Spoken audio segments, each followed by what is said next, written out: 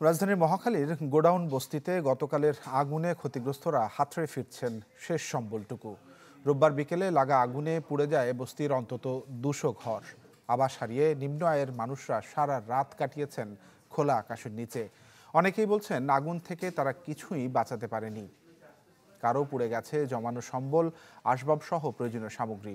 এ অবস্থা অনিশ্চিত ভবিষ্যতের সামনে দাঁড় করিয়ে দিয়েছে তাদেরকে। ক্ষতিগ্রস্তরা জানান, এখনও প্রশাসনের পক্ষ থেকে সহযোগিতার কোনো আশ্বাস মেলেনি। সরকারি সহায়তার দাবি জানিয়েছেন তারা।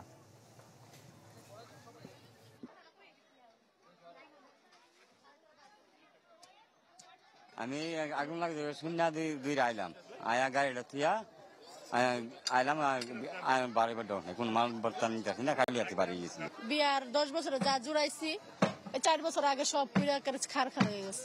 আমাদের একটা মাদ্রাসা ছিল তৃতীয় লিঙ্গের মাদ্রাসা ওইটাও পুড়ে গেছে সব পুড়ে গেছে কিচ্ছু নিয়ে বের হইতে পারে না শুধু পরনের কাপড়টা ছাড়া আর কিচ্ছুই না। এক দুই তিন ঢাকায় জমি জিতেনি একশো পার্সেন্ট ক্যাশব্যাক সহ বিশ কোটি টাকার পুরস্কার।